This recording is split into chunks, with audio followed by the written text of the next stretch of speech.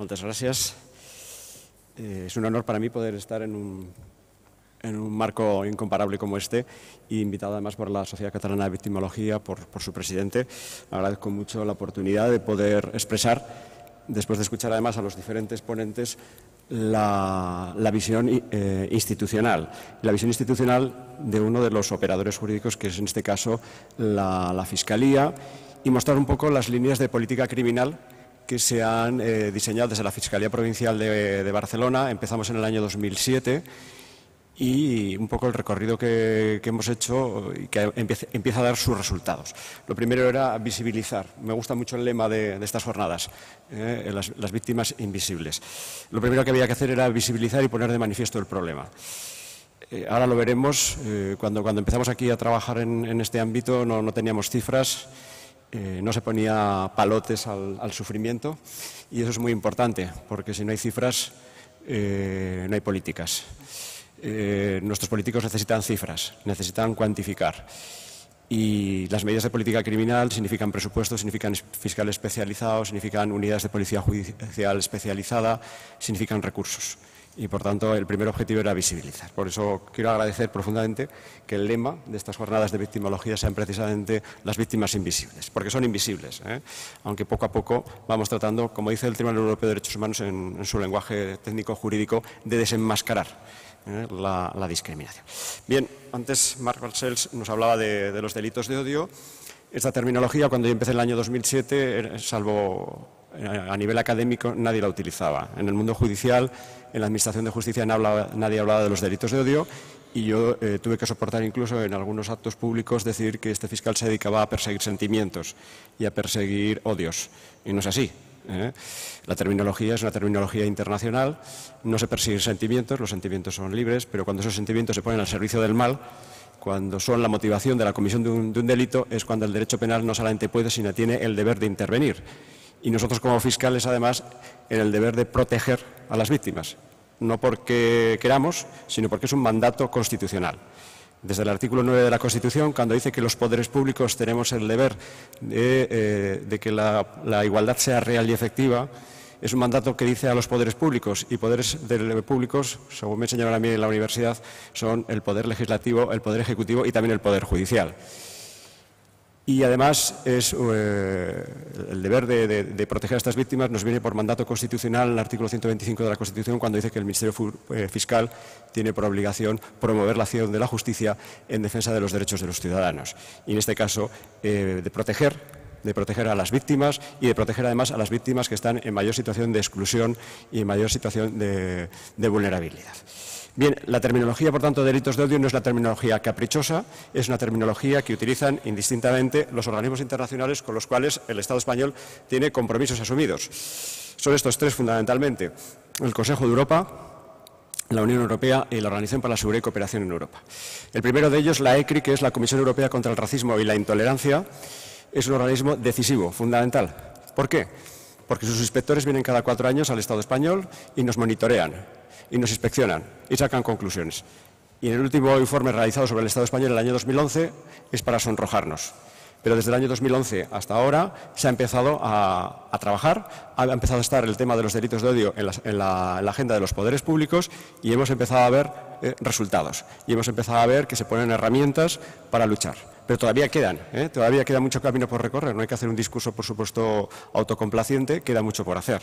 El objetivo final es no solamente sensibilizar y formar a los cuerpos y fuerzas de seguridad, a nuestros jueces, a nuestros fiscales, eh, a nuestros forenses, a, nuestros abogados, a nuestros estudiantes de, de, Derecho, sino que el objetivo es que se haga una auténtica política de Estado de lucha contra este fenómeno eh, delictivo y caminar hacia una ley integral, una ley integral de delitos de, odio que implemente un conjunto de políticas de orden transversal en todos los ámbitos para luchar contra este fenómeno y sobre todo para atender a las víctimas. Bien, pues el Consejo de Europa, como les he dicho, nos visita cada año, o sea, cada cuatro años y nos hace informes. Pero además también es muy importante porque sus eh, dictámenes son tenidos en cuenta por el Tribunal Europeo de Derechos Humanos cuando analiza casos de discriminación. Cuando un Estado es demandado, a la hora de analizar el caso, tiene en cuenta los informes que ha hecho la ECRI sobre ese Estado. Y las recomendaciones que tiene la ECRI en la lucha contra la, discriminación. Por tanto, muy importante. Y ellos, sin ningún tipo de, complejo, utilizan la terminología delitos de odio. La Unión Europea, que ahora después veremos, a través de la Agencia de Derechos Fundamentales de la Unión Europea, y finalmente la Organización para la Seguridad y Cooperación en Europa. La Organización para la Seguridad y Cooperación en Europa dio el primer concepto de un organismo internacional de delito de odio. Los conceptos acuñaron primero en Estados Unidos, efectivamente, pero el concepto como organismo internacional lo da la Organización para la Seguridad y Cooperación en Europa, que abarca eh, también a Estados Unidos, pero que abarca más de 50 estados, y nos da en el año 2003 el concepto de delito de odio. Y dice que es cualquier infracción penal, por tanto estamos hablando de delitos, infracciones eh, penales eh, que vulneran el ordenamiento jurídico penal, en el que las pueden ser infracciones contra las personas o, contra los bienes, y lo importante es que las víctimas son seleccionadas por pertenecer a un determinado colectivo, por motivos étnicos, por motivos raciales, por motivos de orientación o identidad sexual. En la terminología del año 2003 se utilizaba todavía el término absolutamente desfasado y yo creo que ofensivo de minusvalía. ¿eh? Hay que utilizar el término de la Convención de Naciones Unidas, que es discapacidad, o incluso términos más modernos como sería el de diversidad funcional. Pero la idea base es cualquier delito en el que la motivación fundamental es la selección. ¿eh? Es muy importante la palabra selección, la selección de la víctima por determinadas características o pertenencia a un determinado grupo. Bien, es muy importante saber qué impacto tiene este tipo de delitos. Porque lo primero que te vienen a decir muchos de los que hablan del derecho penal de autor es porque este tipo de delitos tienen que tener una respuesta más grave, porque tiene que haber un agravante de discriminación. Empiezan a hablar de lobbies, del lobby gay, del lobby judío, que es la forma también de estigmatizar y crear. No, estamos hablando de un tema de derechos humanos. Cuando se comete un delito de odio, estamos ante un delito que atenta directamente contra el sistema de convivencia, contra los valores democráticos que nos hemos dado. El bien jurídico que está protegido aquí es la igualdad. Y la igualdad no es algo caprichoso, algo que está de moda, algo que tengamos ahora que perseguir porque somos más guays que nadie. No, es un valor superior del ordenamiento jurídico en todos los textos y tratados eh, internacionales de derechos humanos y en nuestra Constitución está en el artículo número uno, a la misma altura que el resto de valores eh, superiores del ordenamiento jurídico, igual que la libertad, igual que la justicia o igual que el pluralismo político, sin jerarquías. Por tanto, estamos hablando de delitos que eh, se caracterizan fundamentalmente, primero, porque la víctima es intencionalmente seleccionada. Esto es muy importante. no es algo caprichoso, no es algo accidental, no es algo producto de una discusión, una provocación. No, no, se va a por la víctima por el mero hecho de ser diferente y con la finalidad, además, de hacerle daño físico y emocional. La importancia de este tipo de delitos radica en esta característica y es que no solamente se selecciona a la víctima con la finalidad de menoscabar su integridad física o su libertad o su seguridad, sino que indirectamente lanzan un mensaje de, eh, amenaza o de, eh, atemorización al colectivo al que pertenecen. Por eso son delitos que atentan contra eh, bienes jurídicos fundamentales de la convivencia. No solamente afectan a bienes jurídicos individuales, sino colectivos. Está comprobado que este tipo de delitos tienen un mayor impacto emocional y psicológico en las víctimas, impacto que muchas veces no aparece, o la gran mayoría de las veces no aparece en los informes de nuestros forenses, en el que solamente se cuantifica el daño físico, pero nunca el daño emocional o psicológico que generan las víctimas elevados niveles de ansiedad, de ira, de miedo intenso. La semana pasada celebrábamos un juicio en un juzgado de lo penal de aquí de Barcelona en el que cuatro skinheads agredieron a un, chico colombiano y este chico colombiano se tuvo que ir a su país eh, preso de miedo. Y gracias al trabajo que se realizó entre primero aquí en España y después en Colombia, además, las autoridades colombianas se implicaron bastante. El chico se sintió con ganas de venir desde Colombia expresamente para testificar en el, juicio. Pues esta víctima, eh, el, daño emocional que tiene y el miedo que sigue teniendo eh, a, salir tranquilamente por la calle, en este caso le ocurrió las inmediaciones de la Sagrada Familia, es terrible y le perseguirá casi siempre. Por tanto, son delitos que dejan cicatrices, pero no cicatrices que podamos observar, que podamos tocar, que podamos fotografiar y que estas cicatrices, insisto, no aparecen en los informes de los forenses casi nunca. Bien. Como les decía, otro de los organismos importantes es la, Unión Europea. La Unión Europea que nos, nos vincula, ¿no? Muy importante eh, la conferencia que celebró en el año 2013, en noviembre del 2013, con motivo de la presidencia lituania de la, Unión Europea. La Agencia de Derechos Fundamentales es el organismo que nos hemos dotado en la Unión Europea a partir de la Carta de Derechos Fundamentales, que ya saben ustedes que se, aprueba por el Tratado de, Lisboa en el año 2007.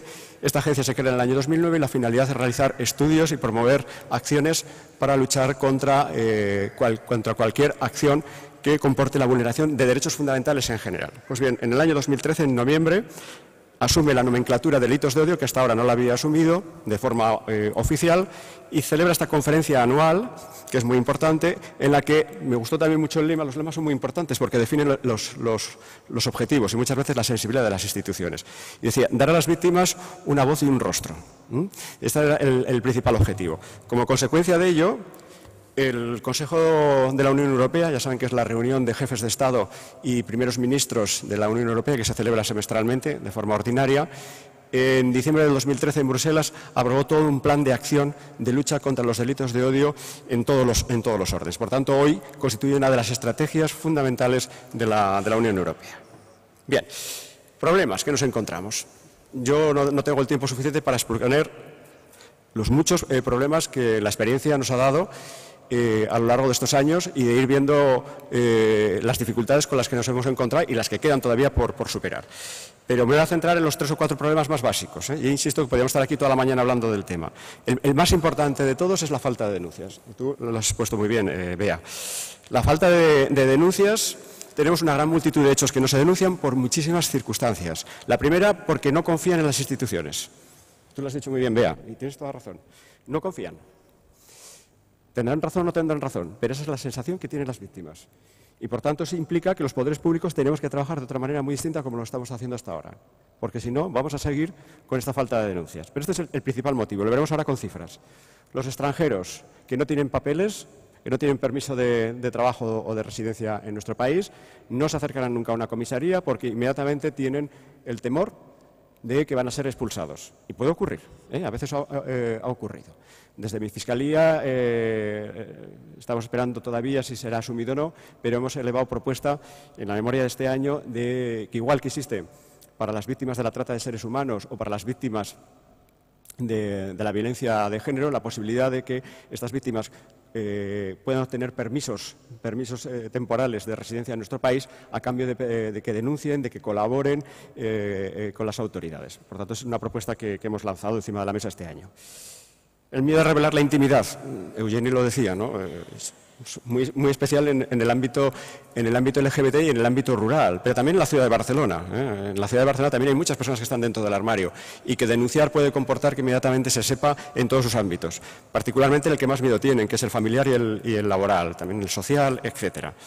O a veces no es el miedo a revelar la orientación sexual, sino que el delito ha tenido eh, eh, lugar en circunstancias tremendamente íntimas y tener que contar esto ante un policía o tener que contar esto ante un juez es, un mundo prácticamente insuperable para muchas de las, de las víctimas.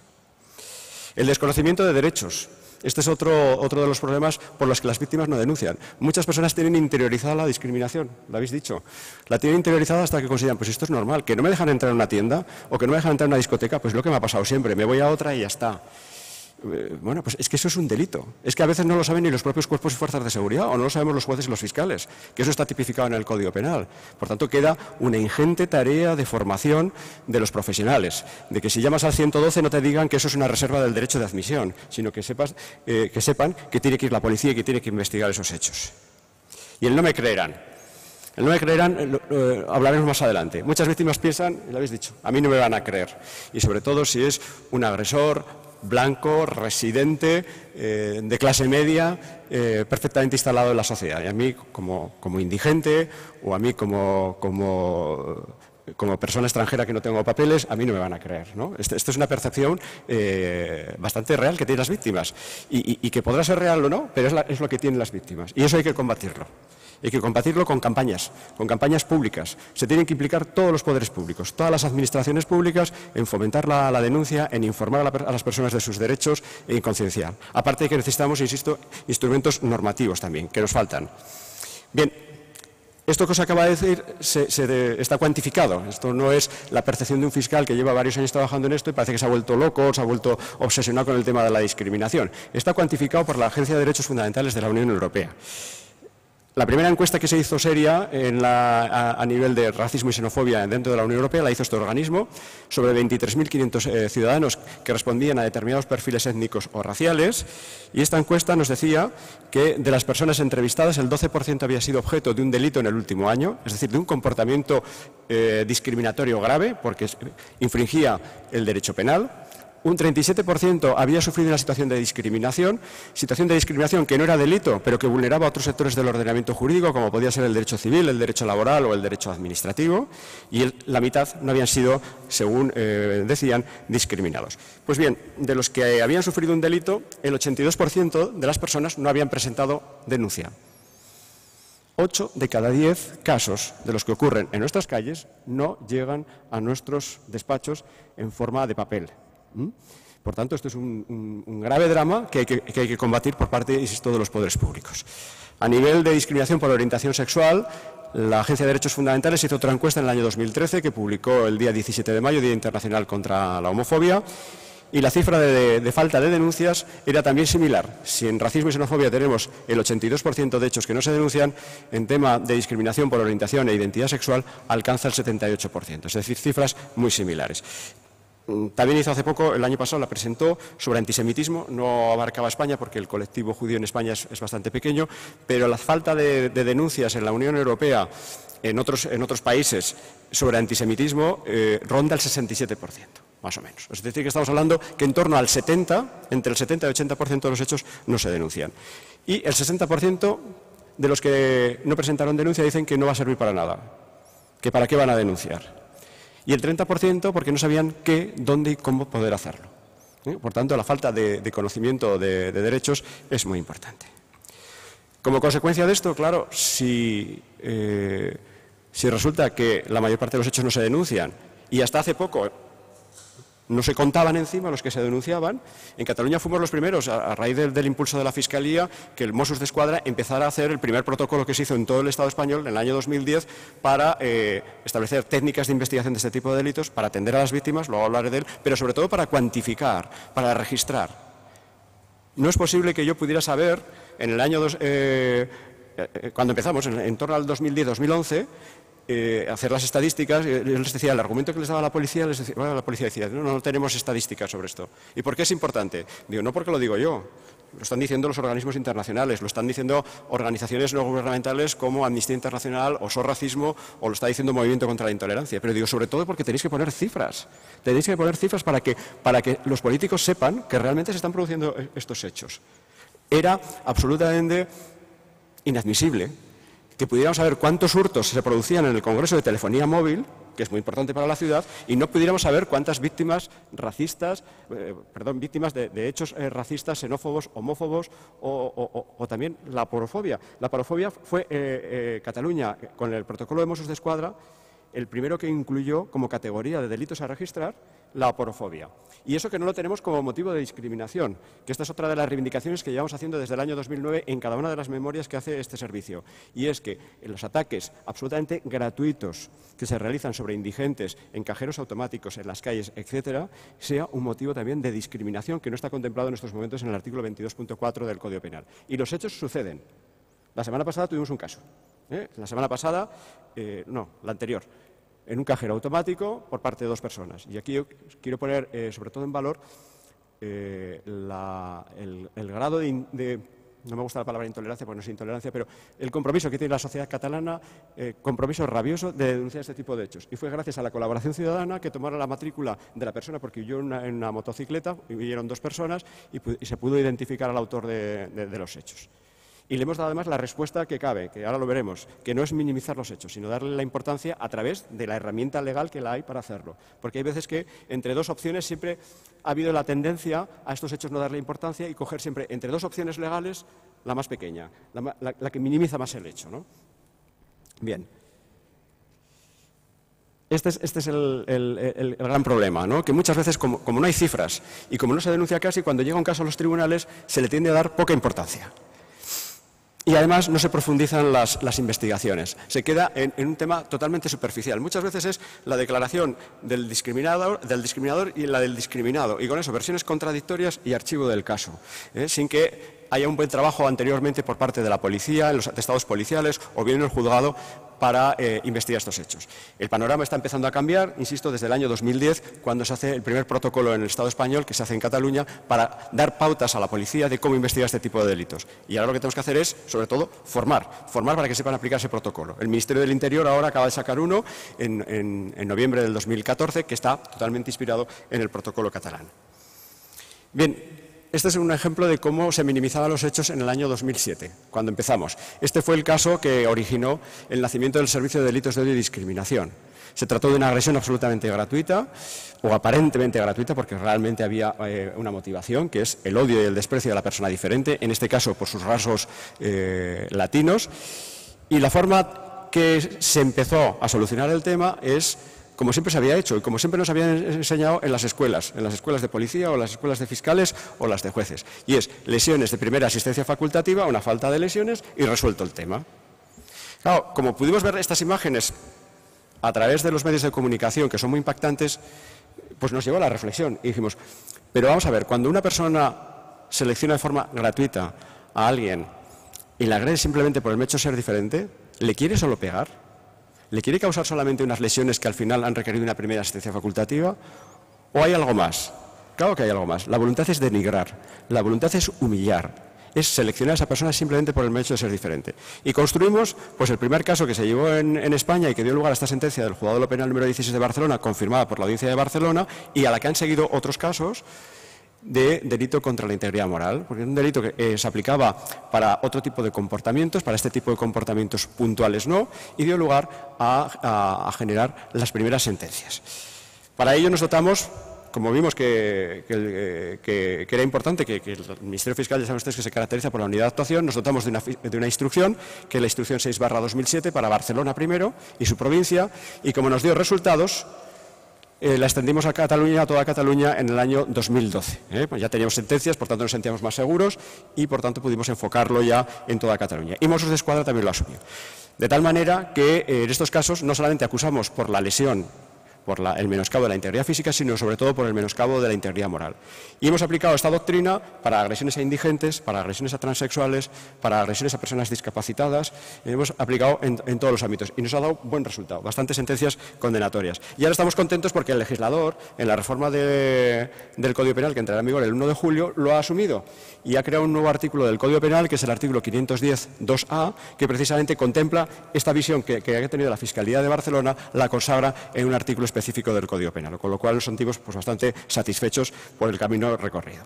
Este es el último caso en el que le aplicamos. Aquí no hubo que hacer prácticamente nada, ni instrucciones, nada. Las instrucciones se dieron en el año, 2000, en el año 2007 y en el año 2012. Y ahora aquí la, policía desde el primer momento, esto es una agresión en el metro de Barcelona a un chico por el mero hecho de ser asiático, y eh, la policía desde el primer momento lo enfocó por un delito contra la integridad moral. Todo, el atestado policial recogía todos los indicadores de polarización que permiten acreditar el, delito. El juzgado de menores, porque el autor, uno de los autores era menor, lo enfocó por delito contra la integridad moral. El juzgado de adultos, porque había un adulto que grabó los hechos y los colgó en Internet, también lo enfocó de esa manera. Hemos presentado acusación recientemente y, por tanto, se le ha dado eh, una respuesta proporcionada a la gravedad del hecho, con la severidad de las penas que corresponden a la gravedad del hecho y no minimizando. Y eso es un compromiso por parte de, la institución que tengo el honor y la responsabilidad de, representar que hemos asumido. En cuanto a las víctimas, pues lo que se nos queja a las víctimas es que en los juzgados o las comisarías no se les ofrecen las acciones a las que tienen derecho y que están, y que están en, las leyes, que se las deriva a servicios que no corresponden, por ejemplo, cuando se les deniega el acceso a un establecimiento, que las mandan a las oficinas municipales de información al consumidor, cuando eso realmente es un delito y, por tanto, eh, se tiene que analizar de esa manera. También yo quiero poner de nuevo en alza eh, la actuación de, los poderes públicos en general y de los cuerpos y fuerzas de seguridad y de nuestros jueces y nuestros fiscales que cumplen en general bastante bien su trabajo, pero a veces hay casos puntuales en el que se observan ciertas miradas, ciertos comentarios eh, eh, que no son nada respetuosos.